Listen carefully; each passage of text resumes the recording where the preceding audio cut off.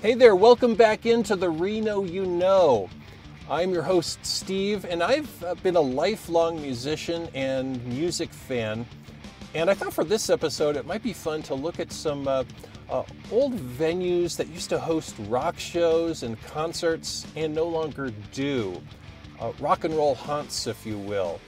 Uh, you might be surprised at some of the names of the acts that used to come through town into some of these built now unassuming buildings.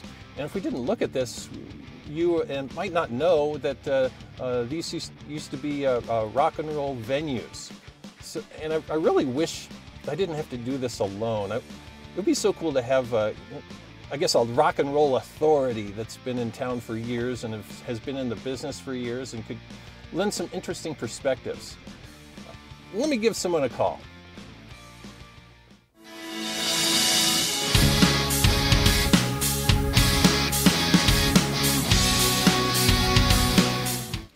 Hey, my man, how are you doing?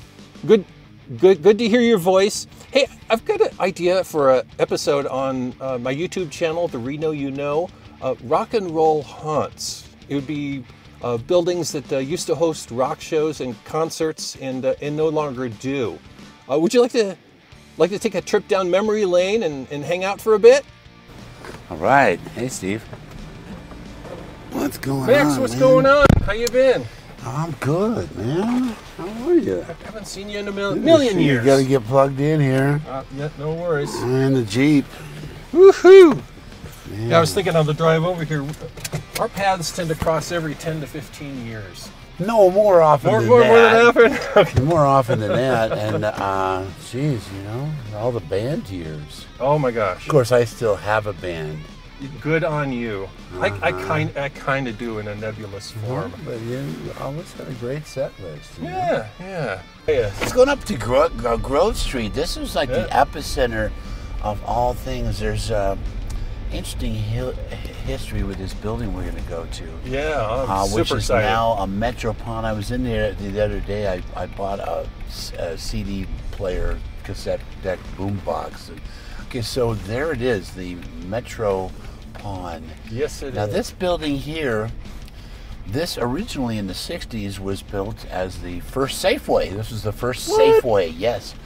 And uh, when uh, when I was working here as the nightclub, uh, when it was a nightclub, I uh, if you blew a fuse on stage, it was under frozen foods in the in the back panel, you know.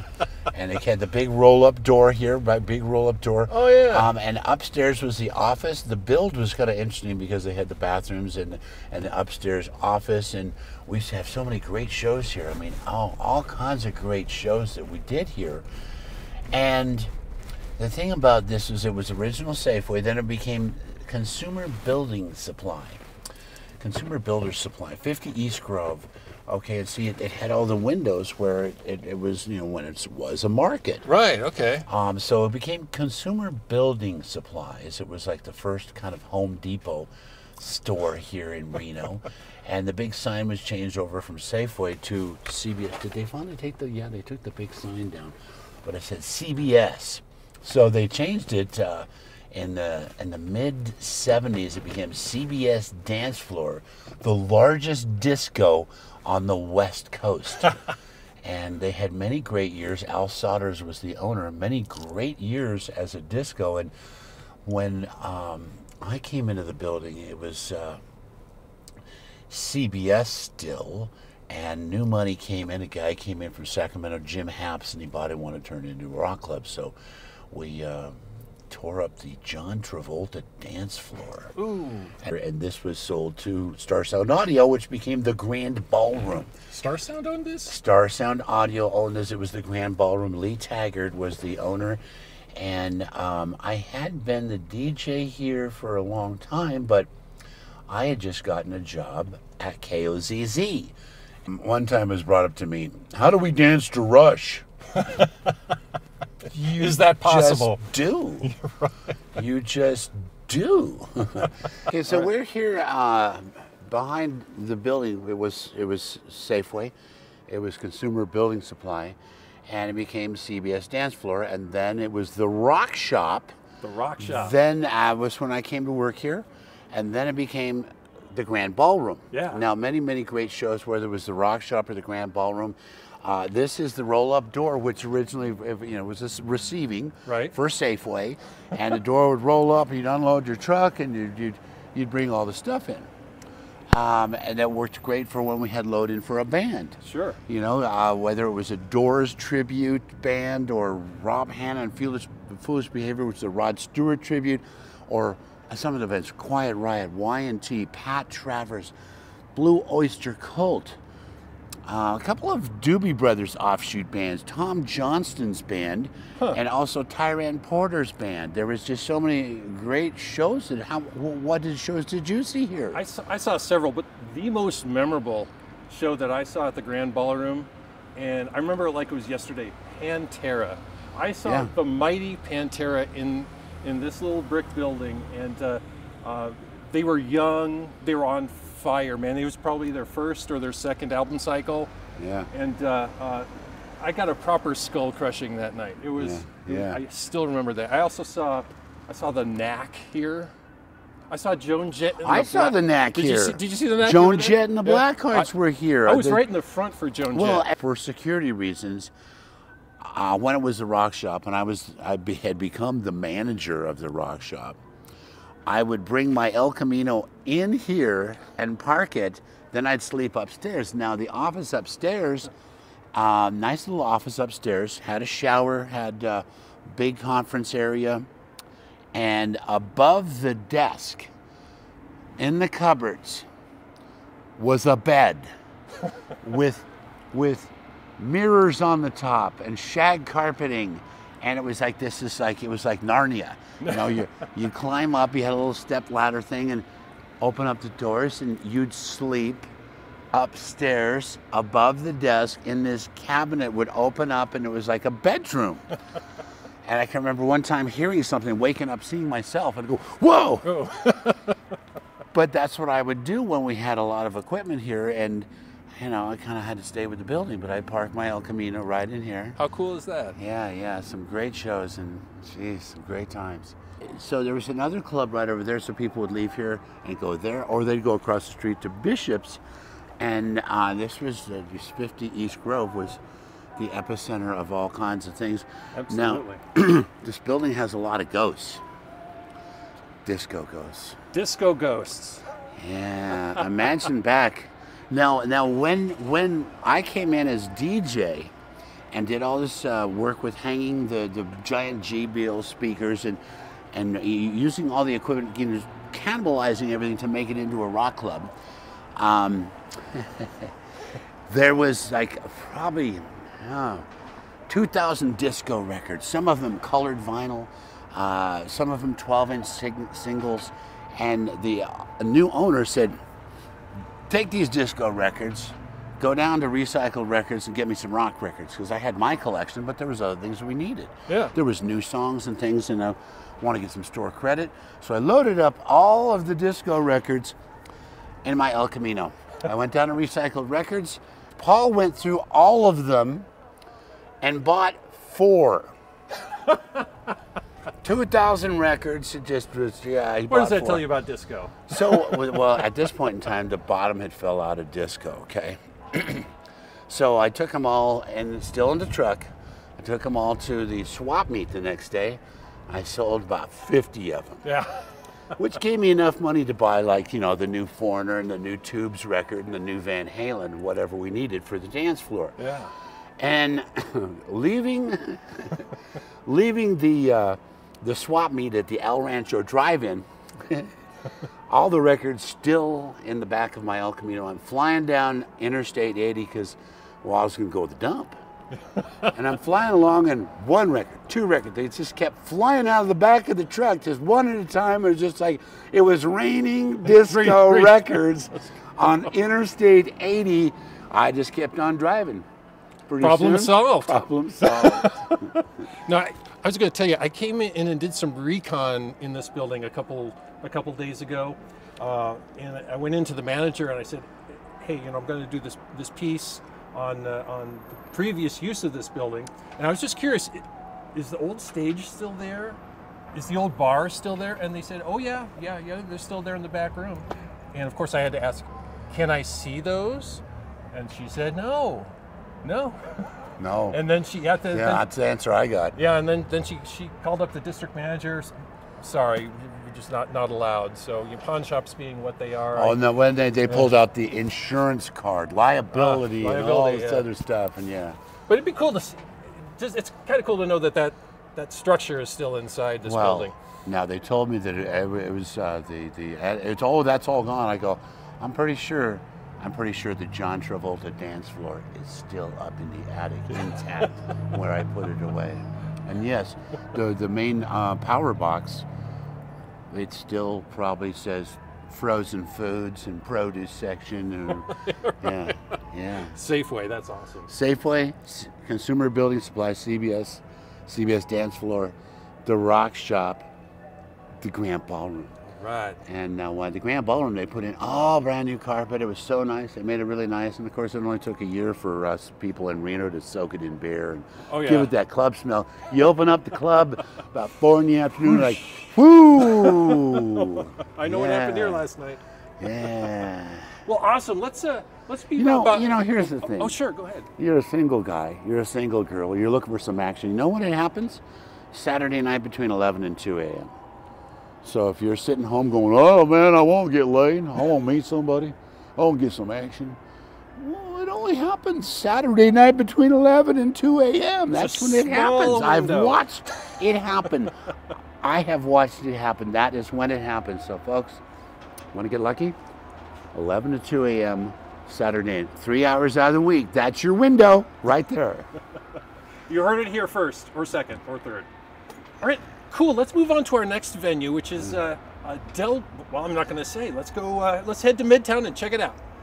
All right, here we are on the corner of South Virginia and St. Lawrence, and this old brick building behind us is one of the most venerable uh, and mem- memorable Well, there's there's a there's a plaque on the side of the wall. there. Did you notice that? Yeah, it's brand new. historical place. Yeah, yeah, absolutely. This was. Yeah, now this um, uh, Midtown still had a lot of uh, residences, but had a lot of businesses. Whether it was a glass company, a business machine company, um, uh, radio repair, whatever, TV repair. A lot of it was the the. This and Wells Avenue was the epicenter of a lot of commerce and a lot of old family businesses that built Reno. If you want to get your hot water heater repaired, some plumbing done, fix your TV, uh, did some dry cleaning. This was, and then what happened was as time moved on, people moved to the outer areas. And as it, we keep growing, I mean, people are moving outside of McCarran. But uh, this building, a very historical, it's now the St. Lawrence Commons. Uh, and we're here in Midtown, which is kind of uh, Disneyland for millennials yeah, it is. now here the, the Shea family, Jerry Shea was a Reno uh, Police Department motorcycle traffic cop. At one point in time, uh, he saw an opportunity to buy this entire building The whole from block? Shea's, the whole, basically the whole block down to that house. Okay. This whole brick building, he bought all of it. And this is at a time when everybody was leaving Leaving, huh? the, uh, the, the, the what is now Midtown, the South Virginia Wells area. A lot of people are leaving to go to bigger places. Sure. And uh, he bought the whole building for a song. And they opened up the very first Delmar station, which was a corner bar right here, this one corner. Yeah. It was a nice little bar, Delmar Station. And that's how it started. Then one day they expanded, made it a little bit bigger, got in some some music, little tiny stage. Oh, yeah. Then one day they made it a little bit bigger, and then a little bit bigger. Pretty soon they had uh, 800 seat concert hall. Oh yeah. And some of the great bands that played here, everybody from Dream Theater to Queensryche and Great White, Queensryche LA here? Guns. Yes, they did. Wow. Yes, they did. I, I saw Cheap Trick Mm-hmm. in this building. Yeah. Crazy. Yeah. Yeah. I remember no, a- NOFX. I saw here my favorite punk Yeah. band of all time. I saw Yeah. No FX here. Yeah. Uh, Dream Theater. I was. I saw the Dream Theater show. Yeah. Absolutely. Yeah. Now, um, we had uh, a Lodo show with no doubt, but that was at the uh, was at the Spice House, Ah, yes. which is the Ice House, which became the Spice House. But we were going to do the show here. We did a lot of alternative shows here, a lot of rock shows here. Joan Jett and the Blackhearts, LA Guns, a lot of metal bands. Great White was a great night. I mean, there were just so many great bands that came through and played here because the stage was big. yeah. And uh, plus, they had a back area where you had pool tables. Jimmy Page, uh, when Jimmy Page came to town, and he was making a record with David Coverdale, my dear friend David Coverdale, who's been always been so generous and so kind, and has always included me in so many of his projects. Uh, David and Jimmy Page. Jimmy Page comes to town, and they want to make a record together, but Jimmy got bored sitting up in, at the house in Incline Village. But Jimmy loved Delmar Station. And I'd be sitting in a booth while some band was playing with Jimmy, and people would come by. They were very polite. They'd wait. They'd come. They'd bring skulls to get autographs. They'd bring albums. Skulls. And um, I'd be sitting next to Jimmy Page and say, Max, see the blonde over there with the big boobs? She's the one that wants to meet Jimmy Page. She's now, the one. Now go fetch her. but yeah, I mean, Jimmy Page, and all night long, Jimmy Page had that same $100 bill. And he never paid, never ever paid, because how do you charge the guy who wrote all the great songs of your misspent youth? He, he developed alligator arms. Right? He'd pull out that hundred and then, no, Jimmy, listen, I, I got you. Let me get that for you. Yeah, so, so you you came up from Southern California, right? yeah. How long have you been in Reno? Uh, since uh, I graduated high school, I've been here. My parents moved here. My dad retired. My parents moved here, and it took me a while, but I found them. Yeah. Okay. and how long have you been on the air here? 42 years. Jeez Louise, that's awesome. All right, this is Lawlor Event Center at the University of Nevada, Reno campus. It's the largest arena in northern Nevada, 12,000 seats, and it broke ground in 1981. It opened November 4th, 1983. In the fall of 83, the very first concert was the Stray Cats opening act, Roman Holiday. Really? Now, there was a country act that played before, but we're talking rock here, okay? So, yeah, there we go. The Lawlor Event Center. Everybody played here, uh, from Garth Brooks to the Scorpions and Genesis, and so many great acts. Um, This was the go-to place for a major. it was all show. shows, Yeah. and it was built well because you had. Uh, um, it was just it was built for concerts and sporting events, and had just uh, so many facets and aspects to it that worked really well for all these all these shows. And show after show after show, I'd be down here doing interviews or whatever. The second rock show was the Scorpions and Bon Jovi. After interview, interviewing the Scorpions and Bon Jovi, John Bon Jovi went out on stage and said, Good evening, Las Vegas, and promptly got pelted with beer bottles. Yeah. Back when they served bottles. uh, Yes. Yeah. Yeah, and they changed it all to draft. And, uh, uh, but yeah, so many shows here, so many Oh great shows. I saw I saw the Van Halen uh, uh, Van Halen shows at least twice here, uh, both with Sammy Hagar. Yeah. But my favorite my favorite show that I ever saw here was Genesis was good. Genesis was good. I didn't Oh. see that one, but 1989, Metallica at the top of Oh, their yeah. top of their game. Oh, 1989. in the round Yeah, yeah. with the Flames. Actually, this was I think it might have been before the round because they had the big justice. Oh, the Snake All. Pit. That was the Snake Pit. Yeah, I believe so. Yeah. That was the Snake Pit the one. big justice for all statue. Right, that was the Snake Pit. Dude, this this was ten days before I got married in, in Yeah. 1989. and- Metallica played here four times. yeah, at, le- at least. Um, E- Eagles.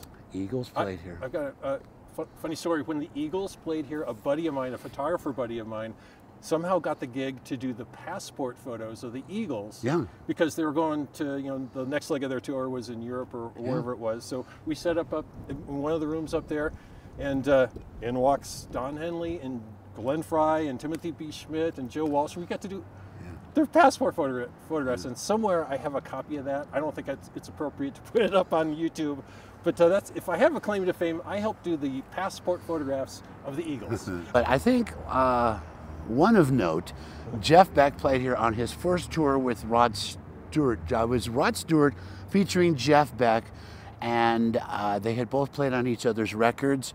And it was the first and only night on the tour because Jeff and Rod got into it. Just I know we were standing outside waiting, and we heard all the the commotion and yeah they they i don't know if they had a fist fight But there was there was yelling. There was uh, Jeff came out and he was very kind and visited with all of us. And Rod came out a little bit later and oh everything's fine. But it was the first and only night that Jeff Beck played with Rod Stewart on that tour. Oh, cool. Yeah.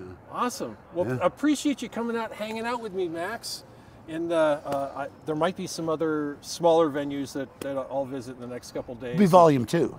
This is Red's Little Waldorf Saloon, or as locals like to call it, the Little Wall. And this is just a short walk up the street from Lawlor Events Center. The Waldorf itself was an establishment that was in downtown Reno, and I believe the story goes that the Waldorf either moved up here by the university or they opened a Little Waldorf, a, uh smaller satellite version. Back in the day, the Little Waldorf hosted uh, uh, several shows for bands that uh, would soon become big names. I personally saw Nickelback here uh, when they were touring on their, must have been their first album. It was a small show, really intimate. Nobody really knew who they were, but I saw them here. It was really cool. Uh, the Mighty Mighty Bosstones played here in what must have been a really rowdy show. Vince Neil's band, Vince Neil from Motley Crue, when he was doing a solo tour, played here. And also the Black Crowes played here at the Little Waldorf. How appropriate. Thank you, Crows. All right, this big old building at the corner of First and Sierra now houses the Liberty Food and Wine Exchange on the ground floor. But back in the day, this building was the J.C. Penney building back when we had department stores in downtown Reno. And they're, they've got First Street all torn up today. Hopefully, hopefully it's not too loud with all the construction. looks like we're getting some new sidewalks. Um, Anyway, I want to show you something cool. Let me flip around here.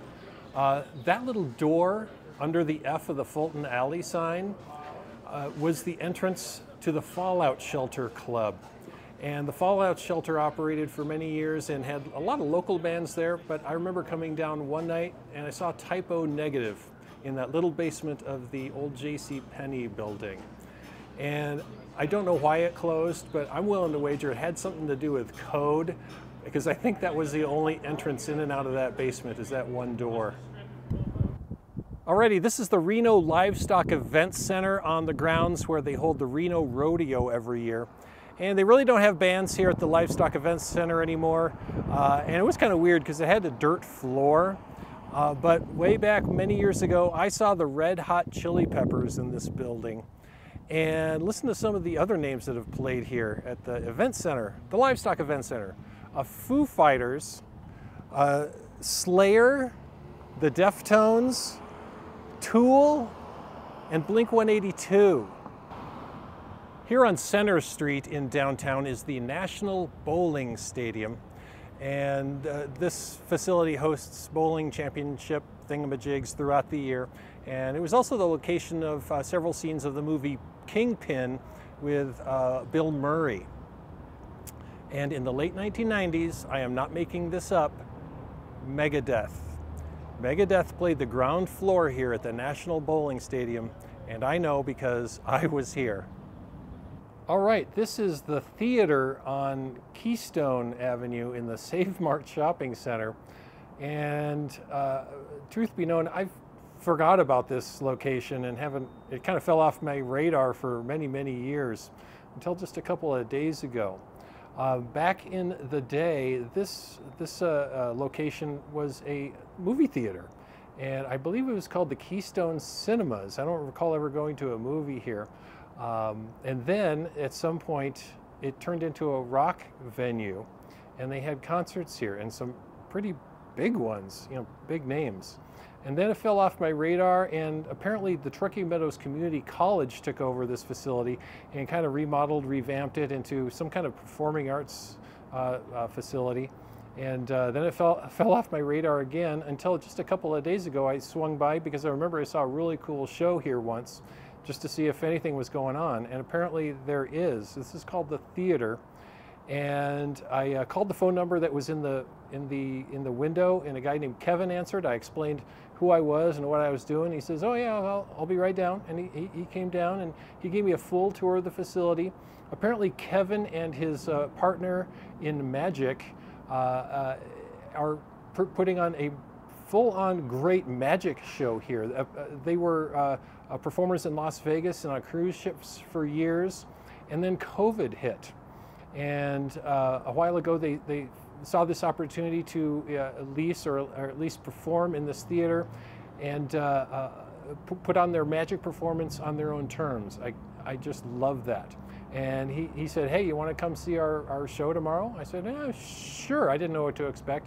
So I brought the wife down and uh, uh, we saw a Sunday matinee. And I'm telling you, if you're a local, you've got to come see this world class performance. The, the magic is top notch. I still don't know how they do most of that. And they have showgirls. So you got to come see the showgirls and the magic down here at the theater. I think they have performances every weekend. Uh, you can check their website at wethetheater.com. I hope I got that right, wethetheater.com. Uh, but anyway, back in 1995, I saw Dokken here at this theater. It was called Easy Street back then. The, the club was called Easy Street. And I saw Dokken, I think it was 1995, with George Lynch. And listen to some of the other names that played in this, in this room. Uh, Korn played here, The Black Crowes, Collective Soul, uh, Fight, which was uh, Rob Halford from Judas Priest's uh, solo band at one point, and Johnny Winter, and many others.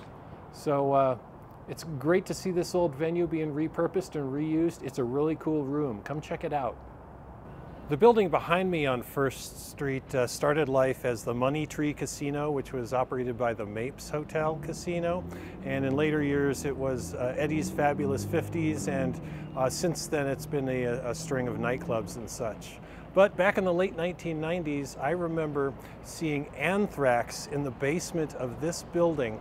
And I was a big, big fan. And after the show, yeah, this was the late 1990s. After the show, I wanted to maybe meet the band because it was a real small venue and such. So uh, I waited around the entrance inside and they never came, they never came. Then I finally came out. They had come out that little door behind me, that little wooden door, and their bus was up here and other people were congregating around and glad handing and shaking hands.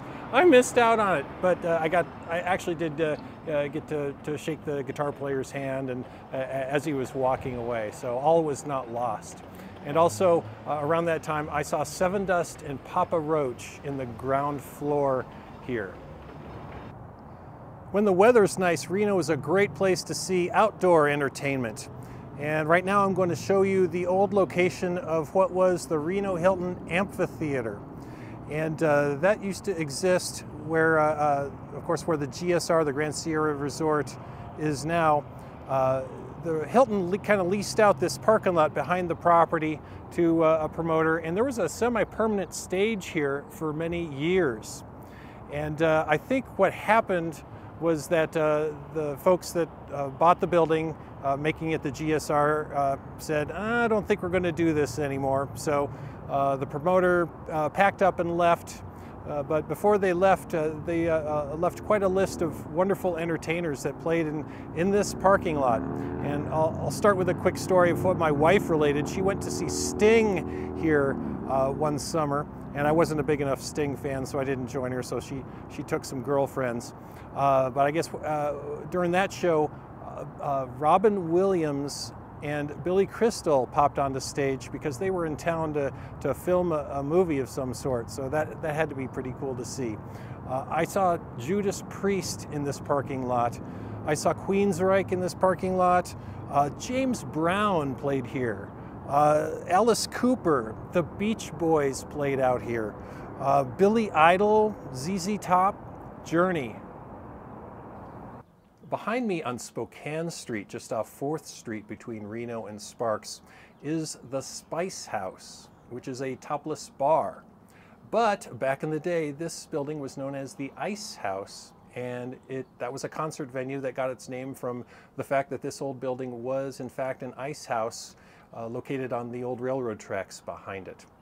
And one of my bands, I'm going to guess in 1980, 1996, played here uh, gosh, almost 30 years ago. And one of the songs was recorded by a local cable access uh, television show called Rubber Bandits. And if I'm able to put my hands on that footage, if I can uh, dig it out, unearth it, uh, I'll put up a little bit of it uh, here on this video uh, just so you can see what it looked like inside there. But back to musical acts that actually made something of themselves musically once they played here. Green Day played here. Uh, now, keep in mind, this was you know 30 years ago when they were just starting out, but, but Green Day played here. No Doubt with Gwen Stefani, they played here. Uh, uh, Pennywise played here. The Offspring, uh, Firehose, which was uh, Mike Watt's post Minutemen project. I, I got to see them here, and many other bands as well. But uh, concerts are no longer here, just other alternative forms of entertainment. All right, this is the Reno Sparks Convention Center on South Virginia Street. And before Lawlor Events Center opened in 1983, uh, this was the place to see a, a, major big name rock acts as they came through town in the 1970s up through the early 1980s. And this, uh, this location got its uh, start in life as the Centennial Coliseum, which was uh, opened in 1965, and it was named for the, the centennial of uh, uh, the Nevada's statehood. Nevada became a state in 1864. And a whole bunch of uh, notable acts came through this location, and I have my list. And of course, the, the, the main number one act that played here, in my opinion, was Elvis Presley. Elvis Presley played Reno only one time in November of 1976, and he played it here. I actually did a whole episode on Elvis Presley in Northern Nevada. I'll leave a link to that in the description. And besides Elvis, other acts that, that came through here Ozzy Osbourne, Ted Nugent, Black Sabbath, Def Leppard in their early days, Sammy Hagar, Rush, Van Halen, Tom Petty uh, uh, J. Geils, Journey, The Kinks, and even Sonny and Cher. All right, we're going to finish this one up here at the Little Wall, uh, Red's Little Waldorf Saloon, which is a, a kind of a legendary college hang. Uh, here near uh, the University of Nevada, Reno. There's a lot of a lot of funky stuff on the ceilings and on the walls. The, the decor is pretty pretty wonderful and unique and almost one of a kind. And today I'm enjoying a Shiner Bock, which is a fine German style, lots of uh, roasty, caramely goodness. And Shiner is actually made in Texas, a German beer made in Texas. So check out Shiner Bock. I hope you've enjoyed today's uh, uh, hike through memory lane. And I'll leave you with this parting thought or question. Um, and it's been on my mind and in the mind of other rock and rollers. What, what's going to happen when the bands that are left today you know, retire and just fade away. Who's who's going to replace him? Who's the next Springsteen? Who's the next Van Halen?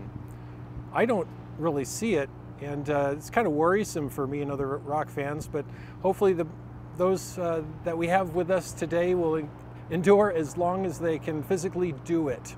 So that's all I have for you today at the Little Wall. I'm going to leave you with what Harold S. Smith, Sr. of Harold's Club, always said I'm with you. Cheers.